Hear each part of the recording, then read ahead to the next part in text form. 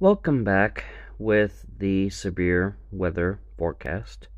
This is for May 7th through the 15th, starting with today with a marginal risk in parts of the Dakotas, Wyoming, and Montana, a marginal and slight risk in parts of Texas, Oklahoma, Arkansas, and Louisiana, might try to expand into Mississippi, and a marginal, slight, and enhanced risk in parts of Colorado, Nebraska, Kansas, South Dakota, Iowa, Missouri, Minnesota, Wisconsin, Illinois, Arkansas, Kentucky, Tennessee, Mississippi, Alabama, Florida, uh, no, no, uh, Georgia, the Carolinas, Kentucky, Indiana, Ohio, and Virginia's.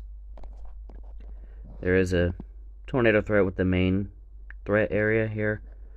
Um, pretty much wind and hail driven.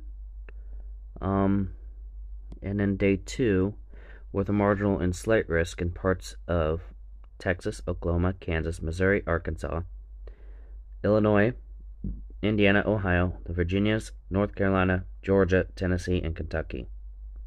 And maybe a little bit of Alabama. This does include my area. There is a tornado threat that does include my area. Wind and hail driven, though. And then day three, with a marginal risk in parts of the Carolinas and Virginia, marginal risk in the Dakotas, Montana, Nebraska, Colorado, and Wyoming, and a marginal and slight risk in parts of Texas, Oklahoma, Kansas, Arkansas, and Missouri. Again, does include my area. Probabilistic, and then the 4 to 8 day with predictability too low for pretty much the entire stretch, with day 5 having that 15 percenter in parts of Nebraska, Kansas, Colorado, Oklahoma, and Texas.